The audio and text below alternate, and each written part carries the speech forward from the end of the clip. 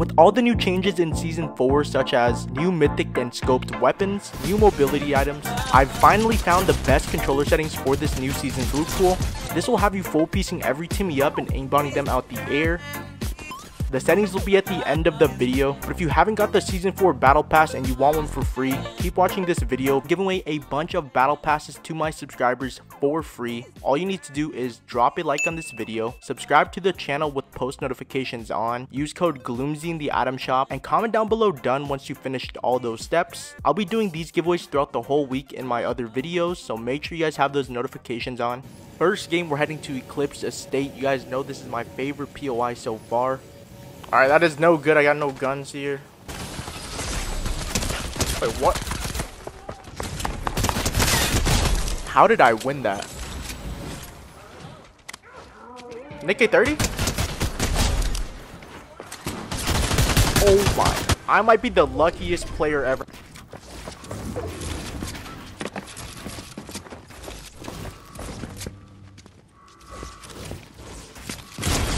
Don't edit that, buddy. Uh,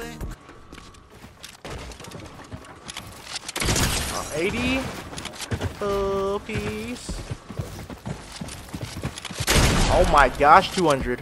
Unfortunately, I don't know where the guy with the mythic went, but it's all good. Oh my gosh, 50. Oh, piece. Oh, crap. Edit. I missed. 200. That was a super close one. This shotgun doesn't really hit as hard, but it's decent. This has to be the coolest mobility item they've ever added into Fortnite. Ain't no way.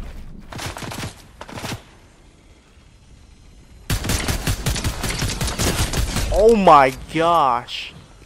Nah, this gun's absolutely broken with these settings. Now, this shotgun right here, this one is crazy. Oh my gosh, this is what I'm talking about. These settings are crazy. It's a literally aimbot. Oh no. There's a guy underneath me. I'm thinking I just impulse in right here.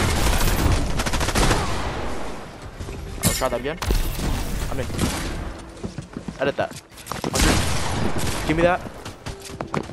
200. And he had the key card. Let's go. I'll grab the Mythic Stinger. And let's get out of the vault.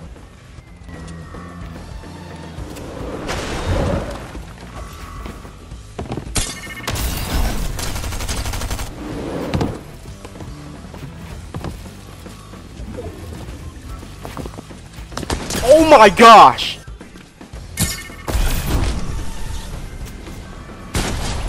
Oh my gosh, nah, these settings are crazy.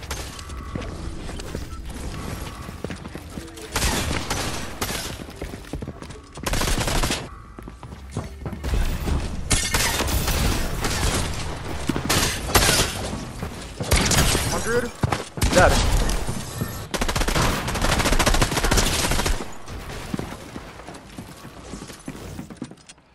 I just bunch of C4s.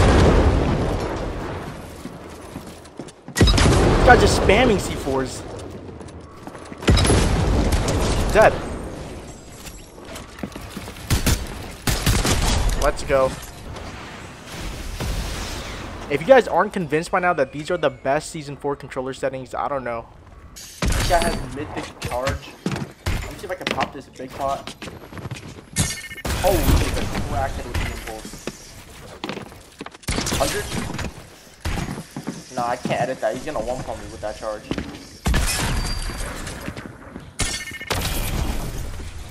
And he's running away.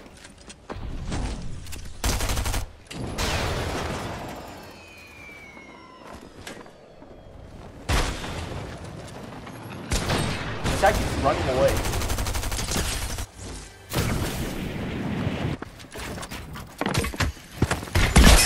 shot me through that, bro? How?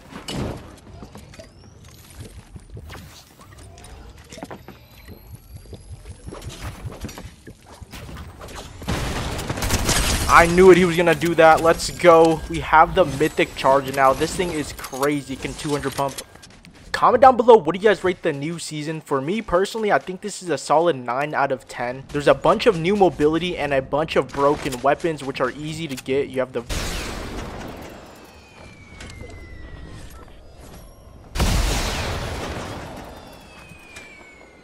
This guy doesn't even know. Bang! Oh my gosh, 200. The mythic is so broken. 12 kills right now. Comment down below how many kills you guys think I will finish the game with. Looking like a 20 bomb maybe. Oh my gosh, no, that's so bad. The AR is so broken. The AR is the most broken gun in the game. I don't care what anyone says. You can die in like two seconds. Is he coming towards me or run away? This dude, man, like why?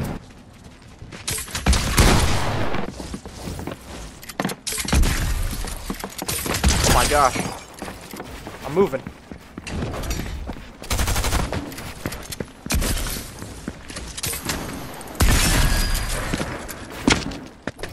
Doubles? Oh my gosh, let's go. No way. That slurps? Yes, I needed those slurp juices. This is the most broken weapon in Season 4 so far. This is basically a Red Eye and an MK had a baby. 100.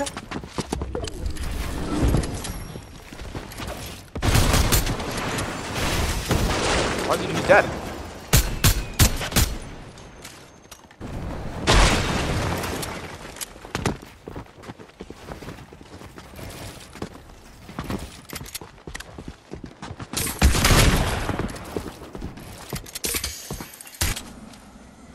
Sixty-one headshot. Let's go. Double headshot with the AR for the win. Gun is absolutely broken. So jumping right into video. the chapter 4 with season that being 4 said, let's jump to settings. Before we start, I know I'm playing on the PlayStation right into the new chapter 4 video, season 4 controller Don't let settings. that discourage you if you're on Xbox. These are the exact same settings I use on Xbox and I've made earnings on both Xbox and PlayStation.